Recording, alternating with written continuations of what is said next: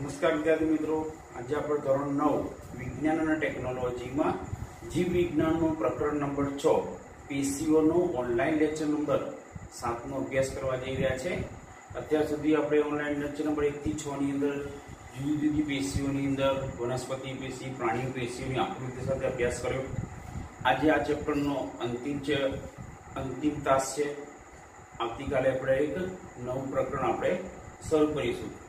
આ ચેપ્ટરની અંદર તમે જુઓ છો કે નવા પરિરૂપ મુજબ ત્રીસ ટકાનો કાપ થયેલો છે, પણ આ ચેપ્ટર સંપૂર્ણ છે. પણ બીજા ચેપ્ટરની અંદર અમુક પોઈન્ટ કાપેલા છે. પણ વિજ્ઞાન અને ટેકનોલોજીમાં આપણે બધા જ મુદ્દાઓનો આપણે અભ્યાસ કરવાનો છે, એ આપણે મિટિંગમાં ચર્ચા થઈ ગઈ છે. બરોબર છે? બધા જ મુદ્દાઓનો આપણે ચર્ચા કરી, અભ્યાસ પણ કરવાનો છે, તમારે નોટમાં પણ લખવાનું છે. અને જ્યારે દિવાળી પછી આપણે મળીએ અંતે આપણે અમુક મુદ્દાઓ આપણે લેસ કરીશું. અત્યારે તમારે બધા જ મુદ્દાઓ ભણવાના છે અને નોટબુકમાં પણ લખવાના છે. તો વિજ્ઞાન અને ટેકનોલોજીમાં આપણે એટલું ધ્યાન રાખીશું. બીજા ચેપ્ટરની અંદર જે સરકારે ઓછું કર્યું છે એ આપણે એટલું ઓછું કરી દઈશું. ફક્ત વિજ્ઞાનના વિષયને છોડીને. તો વિદ્યાર્થી મિત્રો, આજે આપણે ચેતાપેશી વિશે અભ્યાસ કરીશું. ચેતાપેશી કામ શું કરે છે? તો સૌથી પહેલા આપણે જોઈએ છે કે આપણા શરીરમાં જે ઉર્મી વેગ છે ઉર્મી વેગનું વહનનું કાર્ય કરે છે. ઉર્મી વેગ એટલે શું? કે આપણને ક્યાંક કોક ટાંકણી ભોગે. ટાંકણી અડાડે તો પગના છેડામાં પણ ટાંકણી અડાડે છે. તો આપણને તરત ખબર પડી જાય છે. બરોબર છે? ક્યાંક કીડી કરડી છે તો તરત ખબર પડી જાય છે. તો એ ખબર કેવી રીતના પડે છે? તો એની અંદર ઉર્મી વેગનું વહન થાય છે. આપણા શરીરની અંદર ચેતાપેશી તમે જોઈ શકો છો, આકૃતિની અંદર. એવા ચેતે ચેતાપેશી જેનો એક મીટર જેટલો લંબાઈનો એક મીટર હોય છે. એવા ચેતાપેશી લાખોની સંખ્યાની અંદર આપણી અંદર આવેલી હોય છે. એ ચેતાપેશી શું કહે છે? ત્યાં જ્યાં આપણને પગની ટચલી આંગળીમાં કંઈક કિરીટી કરડે છે. તો એ ઉર્મિવેગનું વહન શરીરમાં થઈ, બરોબર છે? આપણે આકૃતિ દ્વારા અભ્યાસ કરીશું. બરોબર છે? પહેલાં ચેતાતંતુઓ, બરોબર છે? અક્ષતંતુઓ દ્વારા માહિતીનું ગ્રહણ થાય છે. કોષકાયની અંદર આવે છે. કોષકાયમાંથી જે ચેતાંતો દ્વારા ઝડપથી પસાર થઈ અને અંતે ચેતાંતો દ્વારા નાના મગજને જાણ કરવામાં આવે. છે એ છેલ્લે પાછળની ચેતાંતો. ચેતાંતોનો જે છેડા છે, નાના મગજમાં જોડાયેલા છે. નાના મગજ એ ઘટનાનું એનાલિસિસ કરે છે કે ભાઈ અસરમાં શું કરડી છે? કીડી કરડી છે? નોર્મલ કરડી છે? વધારે કરડી છે? તો જે તે હાથને ત્યાં પ્રતિચાર આપે કે જો કીડી હોય તો તેને પાડી દો. જો જ્યાં ત્યાં જોવામાં આવે કોઈ મચ્છર કરડ્યો છે, મચ્છર કરડીને ઉડી ગયો તો શું કરવાનું? ત્યાં આગળ જે તે હાથને આમ થોડું આમ ખંજવાળવાનો આદેશ આપે છે. તો આ બધું ચેતાપેશી આપણા શરીરની અંદર કરે છે. આપણા અંદર કોઈ આમ કરીને આમ કરીને કોઈ આપણને વસ્તુ ના કરે, આપણી આંખના પલકારાઓ આમ થાય છે.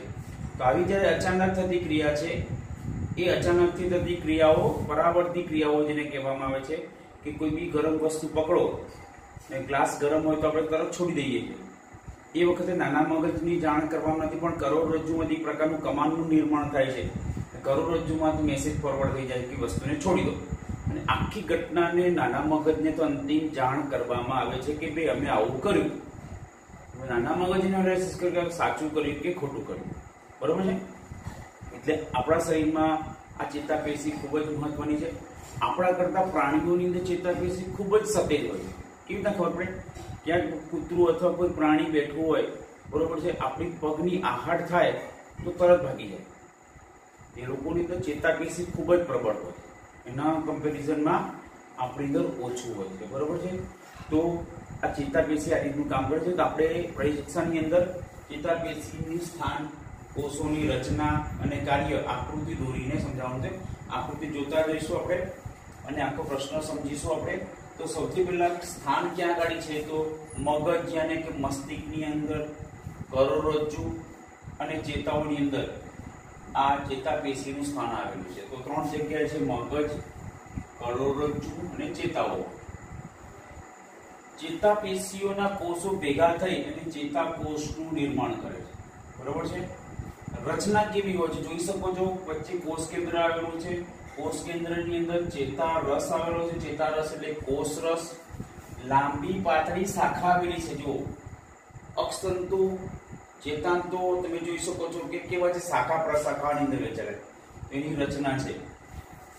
પ્રવર્તો અક્ષતંતુ અને શિખાતંતુઓ એ બે પ્રકારના પ્રવર્તો યાને કે શાખા પ્રશાખામાં વહેંચાયેલા છે. જેને આપણે વિજ્ઞાનની ભાષામાં પ્રવર્તો તરીકે ઓળખવામાં આવે છે. જેની લંબાઈ એક મીટર જેટલી હોય છે, બરોબર? એક મીટર એટલે આપણે હાથથી આમ આટલું કરીએ, આશરે મીટર થાય છે આપણી પેલી આંગળીથી આટલી સુધીનું અંદર એક મીટર. બરોબર? એક મીટર જેટલું હોય છે. નિર્માણ. એ નિર્માણ શું કરે છે? ઘણા ચેતાકોષના ચેતાતંતુઓ સંયોજાય, સંયોજક પેશીને અનુલક્ષીને ચેતાનું નિર્માણ કરે છે. એટલે સંયોજક પેશી એ મહત્વનું કામ કરે છે કે ઘણા ચેતાકોષોના ચેતાતંતુઓ આ સંયોજક પેશી દ્વારા લંબાઈને ચેતાઓનું નિર્માણ કરે છે. અને કે લંબાઈ અને એક મીટર જેટલી લંબાઈ અને ચેતાઓનું નિર્માણ કરે છે. અને તેનું કાર્ય જોઈશું કે ત્વરિત ઉત્તેજના સામે, આપણે વાત કરીએ કે પરિવાર પરા, પરાવર્તિત ક્રિયાઓ છે, ઉત્તેજના સામે ઝડપી પ્રતિચાર આપે છે. બરોબર છે? બીજી રીતે સમજીએ કે આપણે દરવાજો બહારથી બેલ વાગે તો આપણે પૂછીએ કોણ? એટલે સામેથી બોલે એ ઘણી વખત આપણે અવાજ ઉપરથી ખબર પડી જાય છે કે અવાજ આપણા મામાનો છે, આપણા કાકાનો છે, પપ્પાનો છે કે મમ્મીનો છે. એની અંદર પણ કે એ બોલે છે એટલે બોલે છે, એ ચેતા ઉર્મી વેગ આપણા મગજ દ્વારા ગ્રહણ કરવામાં આવે છે. મગજ એનું એનાલિસિસ કરે છે તો આ વ્યક્તિનો અવાજ છે. એટલે નાના મગજ જે તે હાથને સ્વર પેઢીને આપણે આદેશ આપે આવકાર આપો. હાથ, આ હાથ વડે અડો ખોલો. બરોબર છે? આ બધું આપણી પરાવર્તિત ક્રિયાઓ ચેતાપેશી દ્વારા થતું જોવા છે. ચેતાઓ, ચેતાઓનું કામ છે કે ઈચ્છા અનુસાર હલનચલન કરે છે. બરોબર આપણી ઈચ્છા મુજબ પોતે શું કરે છે હલનચલન કરે. અને સ્નાયુઓ શું કામ કરે છે? કે આ જે સ્નાયુઓ છે, અંગો છે અંગોની હલનચલનને ગતિશીલતા આપે છે. બંનેનું કાર્ય પેરેલલ છે. ચેતાતંતુઓ જે ચેતાઓ છે, એ ઈચ્છા અનુસાર જે હલનચલન થાય છે આપણા શરીરની અંદર એ હલનચલન માટે ચેતાઓ જવાબદાર છે. જ્યારે સ્નાયુઓ આ જે હાથ આમ આમ થાય છે, અંગોની ગતિશીલતા માટે આ સ્નાયુઓ જવાબદાર છે. તો આમ ચેતાપેશીનો અભ્યાસ કરો. આપણે આવી આકૃતિ નહીં દોરી પણ સિમ્પલ અને સોબર આકૃતિ દોરીશું. તો બધાનું ધ્યાન અહીંયા. સૌથી પહેલા આપણે એક પ્રકારનો કોષ કાય દોરીશું આપણે.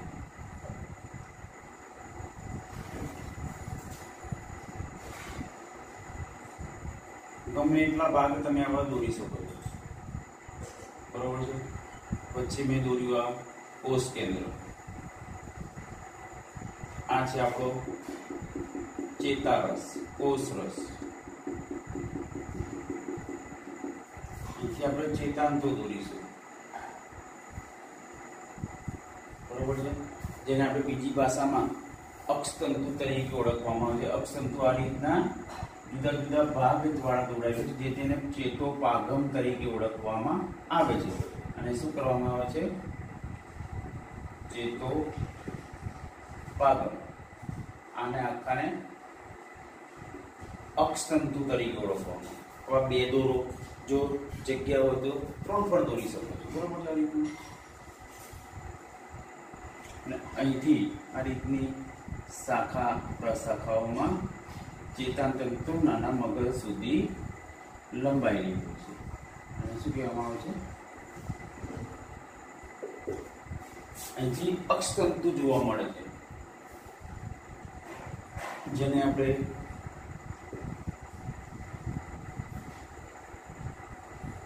એનબીએમની ગાંઠ પણ કરવામાં આવે છે એની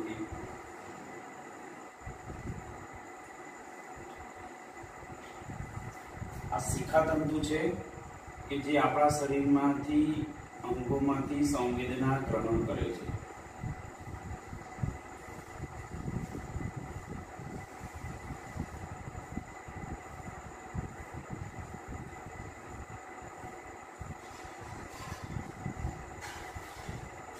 રોજ? આ છે આપણે શિખાતંતુ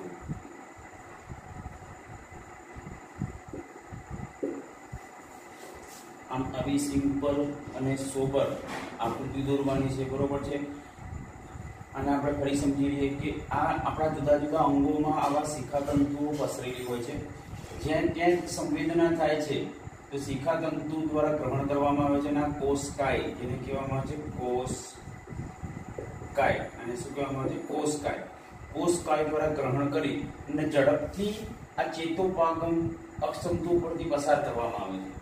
આવા ભાગ છે એના કારણે ઝડપથી પસાર થઈ શકે. છે બરોબર છે? અને અંતે ક્યાં જાય છે ચેતાંતો જોડે જાય. છે એટલે ચેતાંતો આ જે તે મેસેજ ઉર્વી વેગનું નાના મગજને પહોંચે છે. અને નાના મગજ એ જ મેસેજ ઉર્વી વેગનું એનાલિસિસ કરી, બરોબર છે? અર્થઘટન કરી અને એ જ માર્ગે જે તે અંગને પ્રતિચાર આપે છે.